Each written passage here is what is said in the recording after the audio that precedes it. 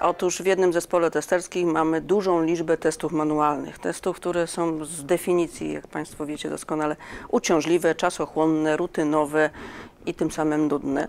W związku z tym e, podczas ubiegłorocznego programu praktyk studenckich, co roku staramy się e, zatrudniać kilku mm, praktykantów, e, spadliśmy na pomysł, żeby właśnie wykorzystać ich obecność, ich kompetencje i pod okiem naszych specjalistów e, wyprodukowany został taki robot.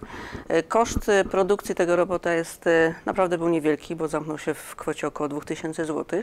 Oczywiście nie licząc e, czasu poświęconego na samo oprogramowanie i na całą analizę, ale w tej chwili e, zastępuje on e, ludzką pracę i swoim takim metalowym paluszkiem do, dokonuje testowania właśnie systemów. No dało nam to dużo oszczędności, przede wszystkim wyeliminowało ludzi, którzy są zdecydowanie bardziej kosztowni i szkoda ich kompetencji do takich banalnych zadań, a dodatkowo dało nam to w oszczędności rzędu właśnie około 800 godzin w skali roku, czyli to jest ponad pół etatu.